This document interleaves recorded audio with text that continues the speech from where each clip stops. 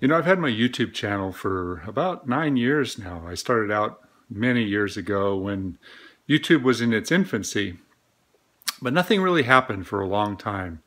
I was posting videos and I'd get, you know, I was really lucky if I'd get 100 hits or so. Until about two years ago when I posted a video that was featured on the sideline and all of a sudden my channel started getting more attention.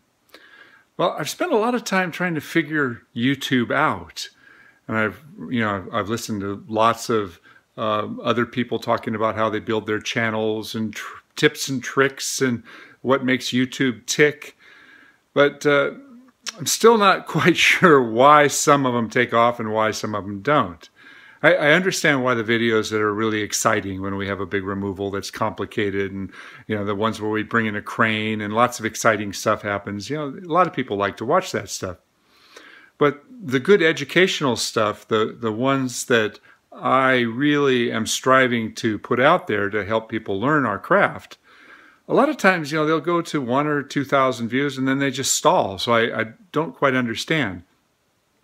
Occasionally i'll put one up that takes off. It'll get 40, 50, maybe even 100,000 views. And I, what did I do different? You know, they're both comparable videos. They're both, you know, equal subject types.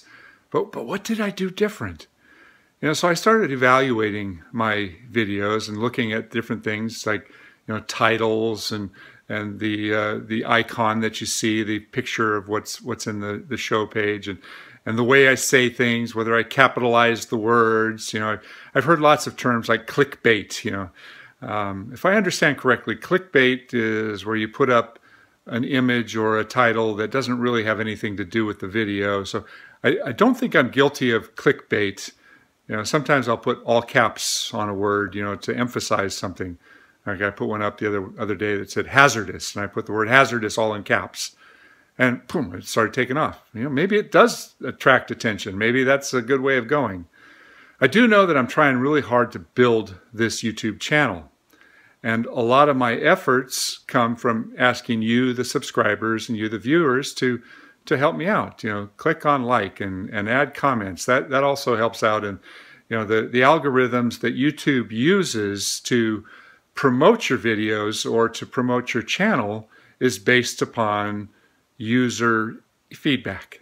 So if you subscribe and if you add comments and if you put likes on there, uh, you know YouTube's algorithms see that and they put you on the sideline and and my channel grows.